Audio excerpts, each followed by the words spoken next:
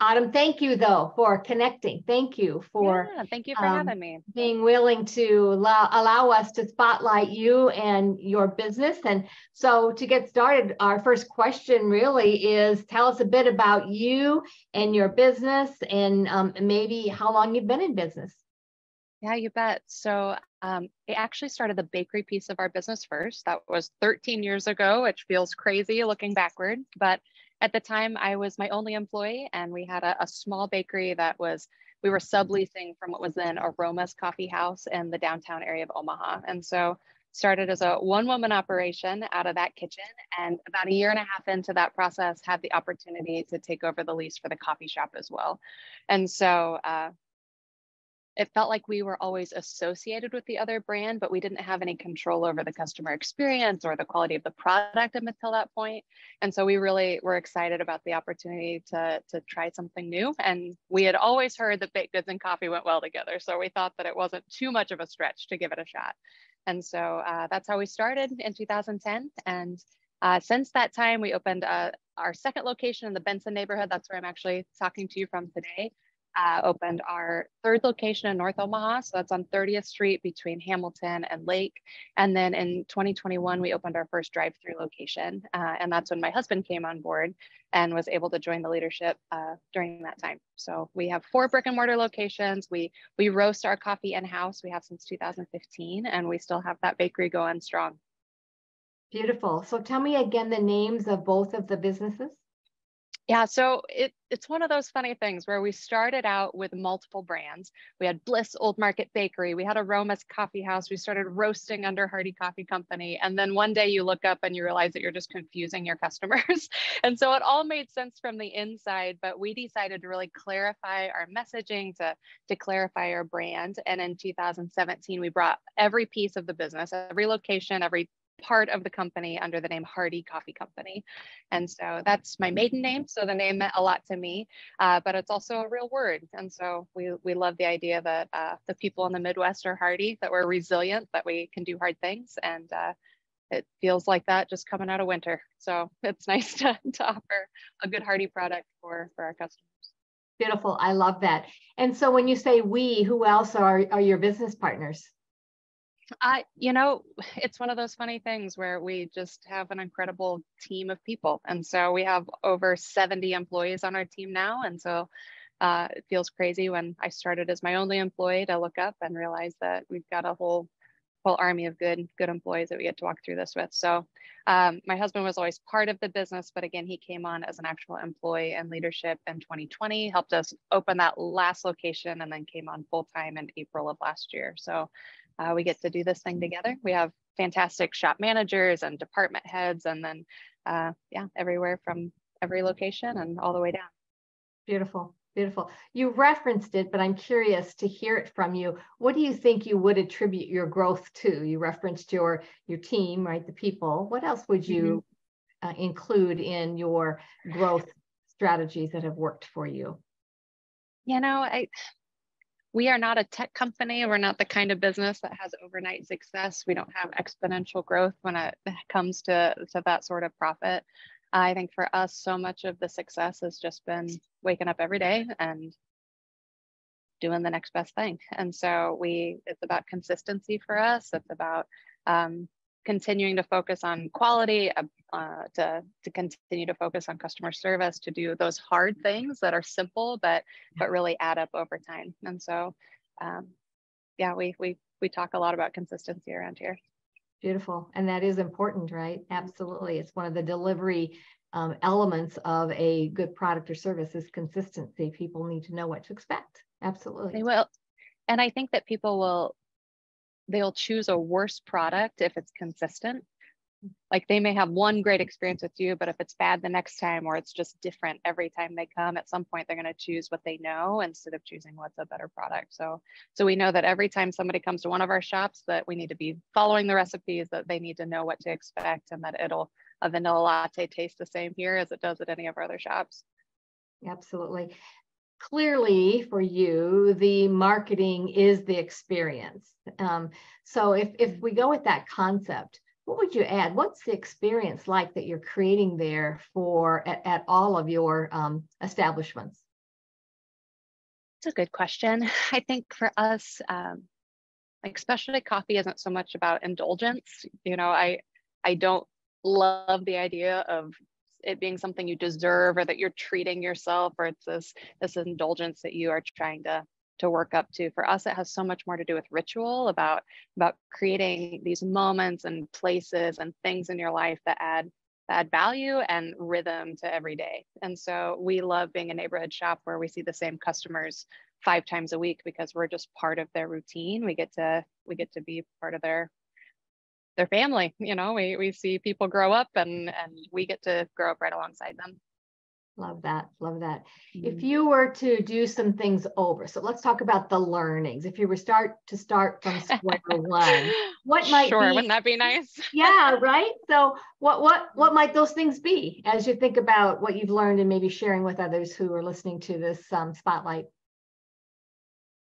Um,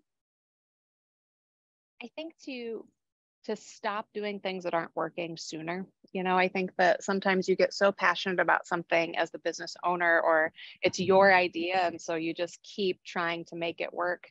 And I think that sometimes it's just better to kill those darlings a little bit sooner and to figure out how to to move on to the next thing and not not sink all of your energy into something that that isn't ever gonna quite pan out. Mm-hmm.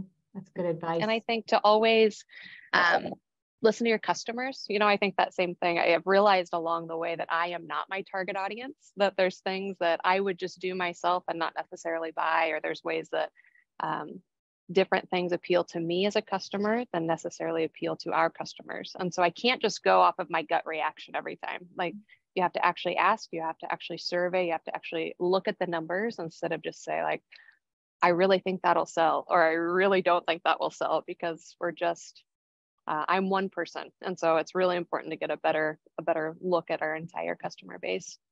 Absolutely. And of course, testing and measuring and experimenting mm-hmm. and see what does work, as you said. Um, Absolutely. I'm curious, I'm curious as um, a business owner, uh, as uh, a woman in in owning your own business, or at least in partnership, uh, and the busy lives that we we keep. I'm curious about how you integrate your personal your personal life, your personal goals with that of your business. You know, I think that um, so I my husband and I have been married for eight years before we had kids, and so I have two two kids now, uh, seven and four years old, and I love them so much. And I think that enjoying being a mom is one of the best surprises of my life. Like it's just been this thing that I was a little bit nervous about because I'd already created uh, this life and these goals and these ambitions uh, before that. And you just hope that all of yourself doesn't change in the process.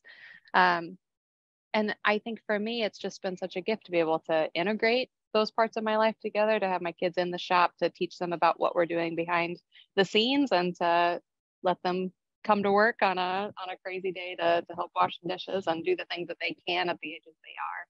But I think maybe the most important thing that they brought to my life is just better balance. Uh, I my greatest hobby is working, and my best pastime is more work. And I think before I had kids, I was perfectly content just living at the shop and running hard every day and all of a sudden there are these tiny humans that I really wanted to see before and after those things happened. And so uh, I think that they brought better balance to my life in a way that nothing else could have. And so it was important to be home before they went to childcare and it was important to be home for dinner. And I started having harder stops and better boundaries and uh, unplugging my phone and making sure that uh, I had a better system in place to make sure that our team was taking care of things and it wasn't just me because they're so capable. My team is capable and willing and eager. And so it just took that push to say, like, oh, yeah, delegation is a healthy thing to, to put into practice. Absolutely. Absolutely. Mm-hmm. I love hearing that. Um, I, I think business is as simple as people and process. Um, mm-hmm. yes, sometimes that's the difficulty of it, right? To, mm-hmm. For the alignment of that. So finding good people uh, that want to do good things and making sure you've got good processes to support them for mm-hmm. sure. Yeah. Um, and such clear expectations. Yes. Yeah. Yes, clarity and expectations, mm-hmm. absolutely. Mm-hmm. I'm curious, what do you look for as you're building team? What would be the qualities that you say, absolutely, these kinds of people or persons belong on our team? Yeah, it's not original to me. Uh, we we read Pat Lencioni's book, The Ideal Team Player, several years ago. And so many of the qualities that he talks about in there really resonated with us. And so when we're looking for team members, we're looking for people that are hungry, humble, and smart. And so what that means here, when someone's hungry, that means that they're ambitious. They they come in and they get started. You don't need to encourage them to do their job every day. They they know what to do and are driven. Um, humble, it doesn't mean that they're thinking less of themselves. It just means that they know their role on the team and how to be the most helpful in that position and that situation. Um, and smart is people smart. So it's not necessarily knowing all the answers, but it's being able to read your team members, it's being able to read the customer, it's being able to anticipate questions and to be able to uh, to help just smooth over any conversation that that maybe has some hard edges. So mm-hmm. those are things that we talk about a lot from the hiring process through training through every annual review like we keep coming back to those things. And and when you find somebody that resonates with that man you can just tell that that we're a good fit for them and they're a good fit for us. Nice nice. What, mm-hmm. what's your intention about the work environment that you're trying to create there or the culture that you're creating for them once you bring them on team? Yeah i so I mentioned before that we have over 70 employees on our team now, but a lot of those people are part-time. You know, it's a lot of people that are working their way through school or it's uh, just a part-time job while they're doing something else or, or they're a mom or dad that is doing this on the weekends. And so for us, like we want to make sure that this is the kind of job that you don't necessarily have to wake up thinking about every day if you're not here. But when you are here, you're able to walk in the door and the job in front of you is clear, that you can step into it, that you can do the work at hand without it feeling like it's an undue burden. And so we want it to be a job that's enjoyable, that is has those clear expectations, and you can just feel successful at uh, once you make it through training. And I think the other piece of it is, you know, we talk so much about that rhythm and ritual and connection for our customers, but but we really want that for our staff too, to say, like, this is a shop where I feel supported, where I feel seen by my manager, where I feel um, like whether or not I see the owners every single day, I know that they're always available and that like it has the feeling of that small business that so many people are looking for, even as we continue to grow. Nice, nice. Might there be something about business that maybe was a misconception or something that you found that you needed to further clarify uh, with employees as as things have shifted and changed in the world in which we live today? Yeah, you know, I think that like the speed of the leader is the speed of the team. And so anytime that we find these hiccups along the way, I I can be frustrated or I can just say like, oh man, like I missed something along the way. Like I didn't lead well here or I didn't clarify well there. Um, and I really think for me, some of it was um, so we had one location that didn't make it. It was in 2016. It opened a month before I had my first kid. It was in a beautiful space, and everything on paper said that it was going to work, and it just didn't. For two years, we tried, and we we failed to be able to make it cash flow, and we just realized at some point that the energy we were putting towards that location was detracting from everything else that we were doing. But up until that point, I did a mm-hmm. really bad job of sharing numbers and data with my team. I always just felt like it was above their pay grade. Like I should be able to manage that piece of things and they should show up and just be able to make our customers happy. And it was through that process that I really realized like, oh no, like they can help. Like they have ideas that are right. going to contribute to this. There are pieces of the puzzle that that I don't know. And if I'm not sharing the hard data, if we're not talking about revenue and cost of goods, if we're not talking about payroll, if we're not talking about all of those things that just feel like really big numbers, if you're not giving good, good interpretation to them, uh, are really helpful tools and in, in getting support from your team. And so I think through that process of a failed location, I learned how to better um, how to better present that information, how to be more open-handed, how to make sure that there was better transparency with the people on our team that that we sincerely trust. We just hadn't hadn't done a good job of bringing them into those conversations yet. What a great story. You know, I we like to talk about the only failure is if one chooses not to participate. Everything else we should learn from. And it doesn't always feel like it in the moment, but I, I know it. And that is so true, isn't it, friend? I mean, it truly mm-hmm. is that's a part of our humanness to say, we got to be okay with that let that show up because that's how how we connect as well um, and i can tell that you're really grounded in that spirit that's awesome mm-hmm. I'm, I'm curious about what might you say to your younger self so you said okay you were married so many years before you had children and and you had these aspirations and um, today i mean you get to define what younger self is right what what advice would you give your younger self uh, I think I would tell her that it's gonna be harder than you think and it's gonna take longer than you feel like it should. And that's okay. You know, I think that I'm one of those strange people that this is literally what I've wanted to do with my life since high school. Like I went to school for business. I had the idea of a coffee shop and bakery, you know, something in hospitality. This is this is the way that I wanted to contribute to my community. It's the way that I just saw like the authentic way that people connect around good food and i wanted to be a part of that um, but it just it's still hard even though it's simple it's hard and it takes time and there's a steep learning curve and i think uh, i would tell my younger self like hey this is this is still going to be worth it but it's going to take longer than you think it's going to for it to feel that way and so uh, to not get too caught up in uh, the daily failures and to keep my eye on the long term thread of that. Nice. There are short term and longer term focuses and priorities, no mm-hmm. doubt. Yeah. Mm-hmm. What, what's in front of you right now that you're trying to solve or that you're embracing as maybe an opportunity or something in the environment that has shifted um, where you might be? What, what would you say yeah. Uh, so our main focus for the rest of this year, we we need to we need to move our roasting facility. And so we started roasting in 2015 in this tiny shoebox of a room in North Downtown. Uh, in 2018, we opened our North Omaha location and we moved the bakery piece of the business and the roasting facility there. And uh, we keep growing our wholesale business. And so initially we were just roasting for ourselves, but we have over 40 wholesale accounts now. So other coffee shops and restaurants and organizations that are serving really great coffee and we get to come alongside them to do so with confidence confidence. Um, and so we're really focused on on expanding that piece of the business. And this next year, we're ready for the next size roaster, but our physical space won't fit it. And so it starts that domino effect of saying like, okay, like now now we're on to the next thing. But uh, so that's a big piece of it for us. And so it's trying to figure out how to be a good wholesale partner, not just a good business owner. And so it's a different skill set, but similar. And so working with, um, so I hired promoted a salesperson and trying to lead him to do that really well, where I was that person for a long time. Um, coming alongside wholesale accounts to create a consultation program. So it's not just here's the product, but also here's the toolbox to, to help you do this really well. So it's not a franchise, but how do we provide some of those same tools a franchise would have so that these customers uh, are successful faster than we were and that we can be successful together for a long time.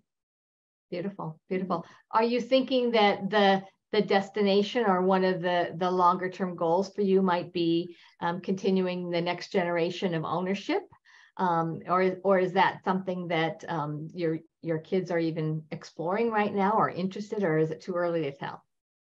Well, I asked my seven year old the other day what he wanted to do when he grew up, and he said he wants to be a professional basketball player and work at Hardy in the off season. So I really think we're we're on some sort of track. You're um, on to something. I love it. Yeah, thankfully at this point, um, we're, you know, even the five year plan doesn't touch that. And so I think we, I never want to force this dream on my kids, you know, like I don't think that I want them to be able to do what they're passionate about. And if it isn't this, then hopefully we've built a strong enough business that somebody else would want it. And so we get to take it a, a day and a year and a decade at a time. Beautiful. Love it. Mm-hmm. Love it. If you were to say you have a mission uh, and or a vision for your mm-hmm. business, what how would you explain that? You know, it shifted just a little bit during during COVID. You know, I think it's one of those things where before then we were so focused on um, like the physical space of it to say, you know, we create these spaces that people want to spend time in, and it's this ex- escape from their day to day, and then uh, then you can't have people in your cafe for eight weeks and things change a little bit. And so we we revisited that mission statement to to really lean into like what is that ritual? What is that? How do people experience that moment of rhythm and connection even if it's in their own kitchen, even if it's in their car, even if it's one of those things, but it's with our product. So it's this invitation to pause. And so we say that at Hardy Coffee Company, we recognize that life is unbelievably full. And so we roast really good coffee and we make from scratch baked goods and we invite people to experience rhythm and connection in their day, all the while knowing that the details matter and connection is key. And so those are the two things that we always coach our team towards. Uh, paying attention to the details, making sure that those drinks are consistent, that the tables are clean, that we're we're paying attention to all of the small things that make up the experience on the product. Um, but I think at the end of the day, it's the connection that's key. If somebody has been in our shop over and over and we've created a relationship with them, if we make a mistake on their drink one time, they're going to forgive that and keep coming back. It's more about seeing them to pay attention to the person in front of you. You might make a thousand lattes this week, but this person may only get one of them. And so pay attention to that one person, connect with them, give them the attention that that their humanity deserves. And so those are the things you pay attention to. Love it. Love it. Beautiful. Is there anything else that you would like to add or maybe um, a question or a, a, comment that we haven't brought up that would be important to share with anybody who's enjoying this spotlight? You know, I think it's just, I think one of my favorite parts about being in small business is meeting other small business owners and being able to walk through this with them and um, I think you just see the world differently when that's your lens. And so when we choose which restaurants to go to, and we choose which hotels to stay at, when we choose where to spend our time and our money, uh, we love being able to invest in an ecosystem and a city that that is unique, that looks and feels a lot like home, and not just a box store that could be anywhere in America. And so I'm so thankful when other customers do the same thing and help to create a city that we all want to spend time in. Absolutely. Because when business owners, mid-sized small business owners get better, the whole community mm-hmm. wins, right? Communities yeah. get stronger because they're the backbone. They, they give back people like you and business owners like you um, give back to the communities because it's where you work, live, and play and raise your kiddos. Yeah. It's my community. Yeah. It is. It is. Mm-hmm. Love it. Love it. Mm-hmm. All right. Well, thank you, Autumn. Um, Linda, it was so nice to connect with you. Well, absolutely. And here's what I would like to do. Um, we've got a couple um, a couple things that we're doing down there, and I'd like to explore a little bit, maybe using one of your um, coffee shops for something that we call um, coffee and cash flow. Okay. And um, and and maybe set that up. And and again, those are kind of intimate groups of people that are wanting to, just as you say, you got to figure out how do you get consistent cash flow. And and we mm-hmm. offer that as an opportunity, and it's a complementary um, opportunity. So um, that would be something that I'd love to follow up with you and or, yeah. or maybe have Coach Carter and see if that's a possibility. And then we're we're actually doing something over at in June. We're doing a um, brews and business over at the Nebraska Brewing Company. Um, okay. In the is it the tap room maybe? Um, it, anyway, we're we're working on getting that all set up, and the idea was at, would be after hours to create community where business mm-hmm. owners just like you come together and um, actually get results, conduct business. So if they haven't done that, how do we um, create a different kind of a networking where where we actually conduct business together, and then we also do some kind of education and oh, learn from each other. And we we have a methodology that really works well, and people don't have to take their whole lifetime to figure it out um, and replicate it, especially if they have an entrepreneur spirit. Um, so we would love to send you an invitation to that, and if not you, somebody on your team that you feel like you want to develop or grow. Um, and again, when, once we we do that, um, uh, we do believe that bringing community together, we talk about being a care organization where create community with accountability uh, to get results through ed- education, business education, and sometimes re-education. Um, so that's kind of our approach as well. And um, if you're interested in that, I'd love to send you just an email with some information on it and have you consider that. That sounds great. Yeah, I'll look forward to seeing that email and I hope you have a great holiday weekend. You too. You too. We'll get this edited and then we'll make sure that we send it out to you. That will probably with the holiday, it might take a little bit over a week, but we will work through that. That sounds great. I appreciate it. Thank you so Lovely much. Lovely to meet you, Autumn. You have, a, have a wonderful holiday weekend.